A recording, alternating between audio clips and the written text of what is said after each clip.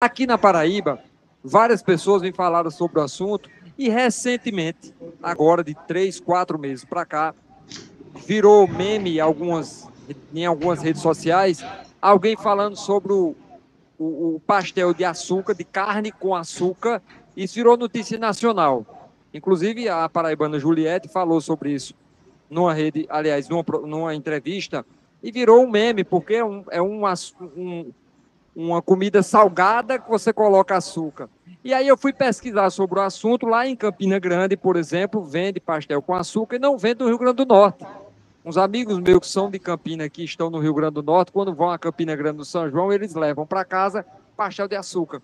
E alguém me deu essa ideia de transformar patrimônio do Estado da Paraíba o pastel de carne com açúcar. Eu perguntei aos deputados o que eles achavam sobre o tema, que é um tema tanto quanto né, desconectado, digamos assim, com, com a, as nossas discussões aqui na casa.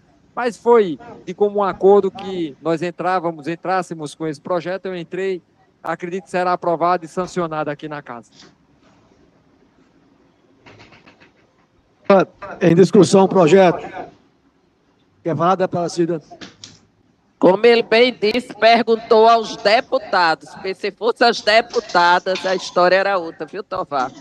Primeiro que açúcar faz mal à saúde.